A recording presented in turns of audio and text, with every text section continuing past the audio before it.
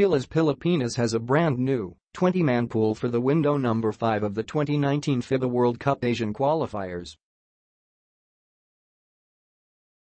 Familiar names dominate the list, although there's one name that has been curiously left out.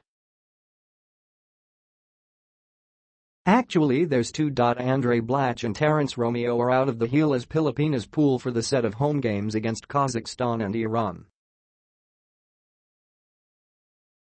The two, who were suspended by FIBA for the Gilas Boomers brawl back in July, would have been eligible to return for the Iran game.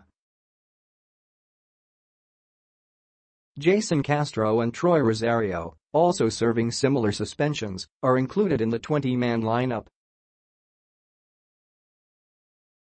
Head coach Yeng Guiao says that the play of Christian Standhardinger was one of the key factors in the decision to keep Blatche on ice for now. There's been a lot of considerations, we appreciate what he's Blatche for us previously, It was really a hard decision on our part, Guiao said on not including Blatche in the new pool.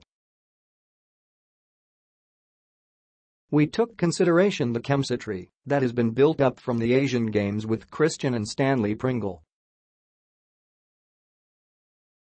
Since Andray is going to be available only on the Iran game, there's some limitations to how we can utilize him.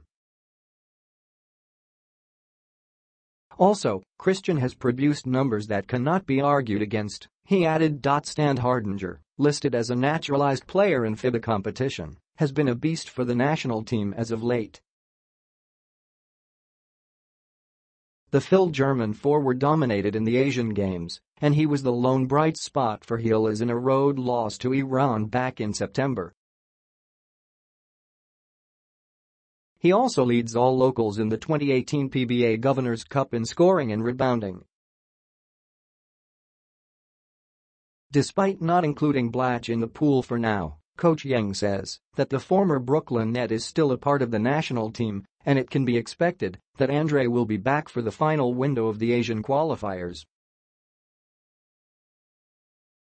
Of course he's still going to be considered Lalo Nasa next window since Walla Na Siang's suspension, Guiao said. As for Romeo, Coach Yeng has pretty much the same reasoning in not including Terrence in his 20-man pool. There's just too much talent in T-guard position. We felt that Terrence is going to be considered in the next window, Guiao said.